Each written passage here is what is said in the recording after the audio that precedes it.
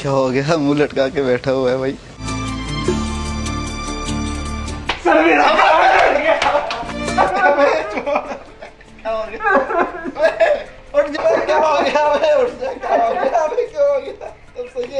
मेरा कार्ड उड़ गया। अरे यार। सही है यार हो जाता है यार कार्ड है खत्म हो गया तो क्या हो गया दूसरा ले यार लो क्या तमाशा मचाया है तुम लोगों ने? अरे इसका कार्ड इतनी देर से तुम लोग रोना धोना मचाया हुआ है डिस्टर्ब किया हुआ है। चलो नीचे हो जाओ दफ़ा जाओ काम करने दो मुझको। चल चल चल चल चल चल भाई उठ चल चल निकल मार दीजिए बहरी जहाज़ की ज़िंदगी एक आम शहरी ज़िंदगी से बहुत मुख्तलिफ़ है। खुले समंदर में ये है हमारा घर। ज़मीन से बहुत दूर ऊपर आसमान नीचे पानी। दूर दूर तक ज़मीन का नामो निशान नहीं। हमारा रबता ज़मीन से उसवार होता है सैटेलाइट के ज़रिए। सैटेलाइट इंटरनेट पिछले चंद सालों में काफ़ी बेहतर हुआ है स्पीड के लिहाज से। लेकिन तमाम बेहतरी और इंप्रूवमेंट्स के बावजूद it's not cheap by any mean जिस कीमत में मैं घर पर अनलिमिटेड इंटरनेट इस्तेमाल करता हूँ last month it was nine hundred GB for four thousand rupees उस कीमत में मुझे यहाँ पे सिर्फ़ सौ एम मिलते हैं। ओनली हंड्रेड एम और पूरे महीने का बिल तेईस चौबीस हज़ार रुपए बनता है। और maximum data that I can use in that amount of money is only three hundred to four hundred M that's all how about that और फिर जब कोई मुझे वीडियो कॉल करे या वीडियो मैसेज भेजे और मैं ना देखूँ और वो गिला करे तो भाई आप मुझे ये बताएँ कि अगर मेरी जगह पे आप होंगे तो आप क्या करेंगे? कोई भी बिला वजह की वीडियो कॉल नहीं करेगा और ना ही कोई बिला वजह की वीडियो डाउनलोड करेगा। खैर, ये सारी कहानी आपको बताने का मकसद एक और भी है। जहाज़ पर हम लोगों के लिए डाटा यूजेज को कंट्रोल करना बहुत ज़रूरी होता है। वरना ये सौ, दो सौ तो आजकल के फ़ोन यूँ मज़ाक मज़ाक में उड़ा जाते हैं। डाटा यूजेज को कंट्रोल करने के लिए सबसे मुश्किल उम्मीदवार होता है iPhone you have to stop all notification notification use a lot of data सबकी सब एप्स को इंफरादी तौर पर आपको डाटा यूजेज से मना करना पड़ता है। Siri off dictation off Spotlight search off करनी पड़ती है। टॉप हिट्स को भी ऑफ़ करना पड़ता है। ब्राउज़र में स्मार्ट सर्च ऑफ़ करनी पड़ती है। गूगल एप्स की सेटिंग्स चेंज करना पड़ती है। और इतनी मेहनत करने के बाद जब बिस्मिल्लाह पढ़ के आप अपना फ़ोन ऑनलाइन करते हैं तो पता चलता है कि डाटा उड़ना कम तो हो गया है लेकिन बंद अब भी नहीं हुआ। और रोज़ाना दस पंद्रह एमबी मुफ़्त के उड़ जाते हैं? और जहाज़ पर ये दस पंद्रह एमबी नहीं है ये रोज़ाना के पाँच, छह सौ रुपए हैं जो आपके उड़ते हुए जा रहे हैं। क्योंकि आईफोन में आप एप्स के डाटा यूजेज को तो बंद कर सकते हैं, लेकिन एप्पल के सिस्टम के डाटा यूजेज को आप बंद नहीं कर सकते।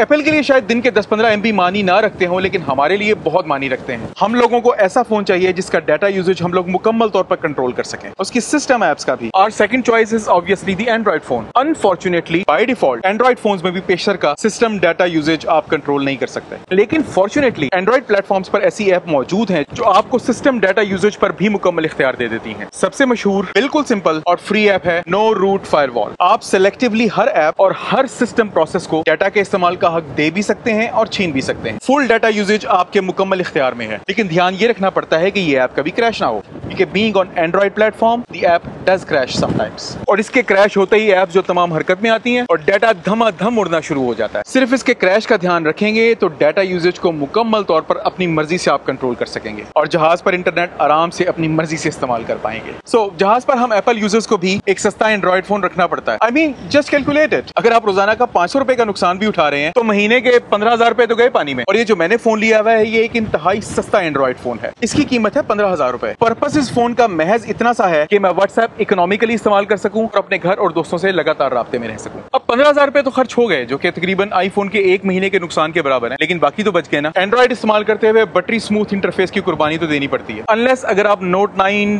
टेन या गूगल पिक्सल इस्तेमाल कर रहे हो, लेकिन बाकी नुकसान तो बच जाता है ना। साइड नोट पर एंड्रॉइड की थोड़ी सी फ्रीडम का फ़ायदा और मज़ा हम भी उठा लेते हैं। और वैसे I always say in my video Android phone और स्पेशली गूगल पिक्सल सीरीज़ और नोट नाइन टेन सीरीज़ वाकई काबिल स्ताइश है। And they are getting very close to the iPhone in terms of interface and buttery smooth OS bottom line ये है कि Android users के अलावा हम सबको जहाज़ के ऊपर इंटरनेट इस्तेमाल करने के लिए एक सस्ता सा एंड्रॉइड फ़ोन चाहिए ही चाहिए होता है, जिसको अपनी मर्ज़ी से सेट करके इस महँगे इंटरनेट का कतरा कतरा हम अपनी मर्ज़ी से इस्तेमाल कर सकें। रही बात यह कि मेरे पास ये एंड्रॉइड फ़ोन कौन सा है तो ये वीवो की वाई लाइनअप का सबसे सस्ता फ़ोन है। इसका रिव्यू मैं इंशाल्लाह जल्द ही आपके लिए लेके आऊँगा। And finally now you know how expensive the internet can be and how do we manage it on ship this is Bay of Bengal और ये जो आपको जहाज़ नज़र आ रहा है, यहाँ पे चलता हुआ this is Costco line vessel that is a container ship it's completely different kind of ship right now we are passing through the Bay of Bengal कल मैंने आज सोचा कि क्यों ना खुले समंदर में एक वीडियो बनाई जाए। Why to always make it in a room और अ कैबिन लाइट थोड़ी सी हार्श है but I think I be able to manage it I hope आपको इंटरनेट की आज एक नई डायमेंशन के बारे में पता चला होगा कि आज के दौर में भी how expensive the internet can be and this video is basically not just for us I mean आप में से भी वो लोग जो कि लिमिटेड डाटा इस्तेमाल कर रहे हैं those who have limited data they can also use no root firewall it's a